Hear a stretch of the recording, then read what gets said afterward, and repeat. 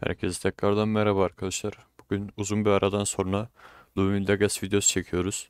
Ee, Bugün size event Lumin'lerini söyleyeceğim kısaca. İlk olarak başlamak gerekirse event hakkında e, ne var ne yok diye.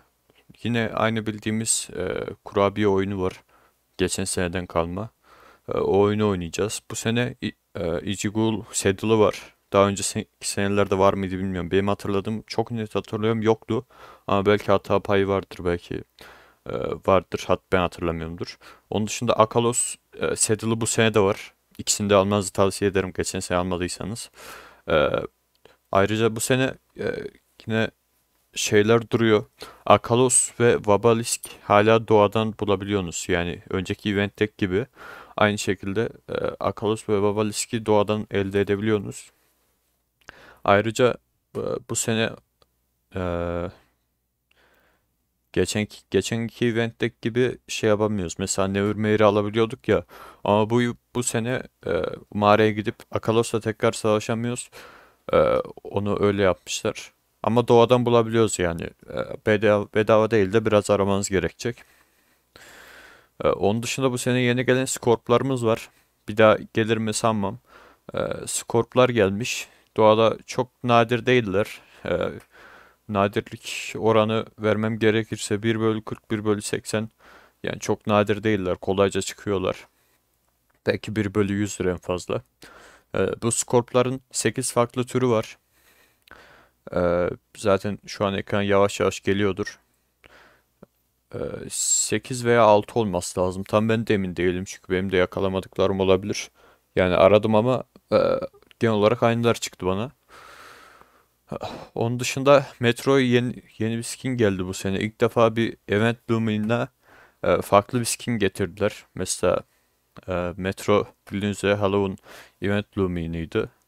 E, ona Noel skin'i getirdiler. Kimse beklemiyordu zaten böyle bir şey. Gayet güzel oldu bence. Onun dışında e, yeni bir efsanemiz var. Efsanevimiz.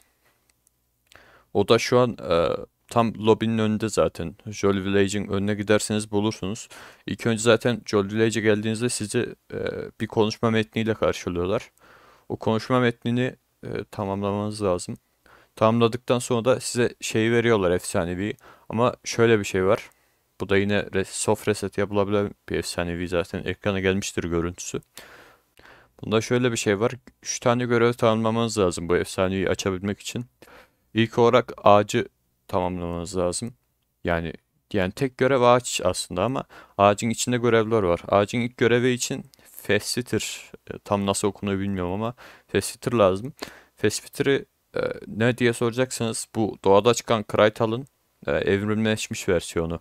Yani e, nasıl yapabiliriz diye soracak olursanız e, Kraytal'ın üstüne tıklayın. Ona bir Decorative Life verin.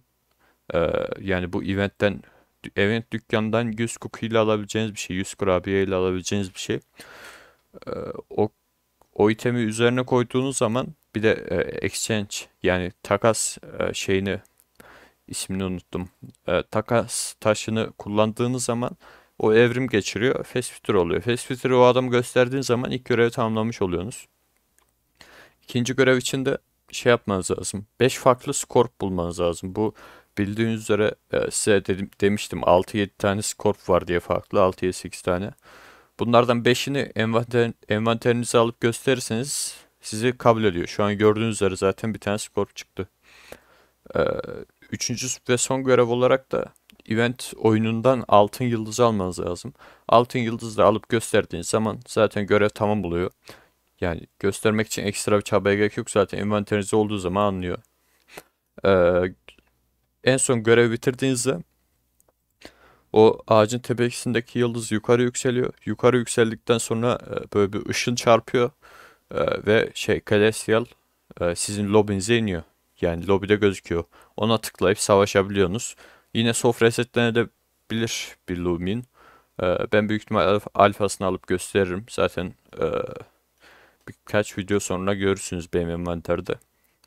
E, şu an şu anlık Lumin'ler bu dediğim gibi. İki tane de yeni Lumin'imiz var. E, ikisi de rallylenebiliyor yani bir tane almanız yeterli. Bir tane yakalamanız yeterli. Birincisi Kairo Küp. E, zaten videoda görmüşsünüzdür pas geçtim. E, ikincisi ise eee, tam ismini hatırlamıyorum ama Windlepuff tarzı bir şey olması lazım da. Ya, valla Windlepuff tarzı bir şey olması lazım. Ama ben şu an ekrana görüntüsünü koyarım zaten. Çok da şey sıkıntı olmaz. Siz görürsünüz. İkisi de evrimlerine evrimleş geçirebiliyor. Ee, ikisinde güzel evrimleri var. Statları o kadar yüksek değil ama güzel evrimleri var. Bence hoş e, alıp kullanabilirsiniz tabii keyfinize göre. E, Kairokop biraz daha ümit şey veriyor, ümit verici diğerine göre. E, diğeri o kadar da güzel değil bence. Bu arada arkadaşlar söylemeyi unutmuşum. Yeni gelen Ichigur'lar var. Bu Ichigur'lar diğer Ichigur'lardan farklı. Ee, diğerleri bildiğiniz üzere sadece düz renk vardı. Bu seneki Ichigur'lar hediye paketi şeklinde. Yani üstünde hediye paket tekstürü e, deseni var.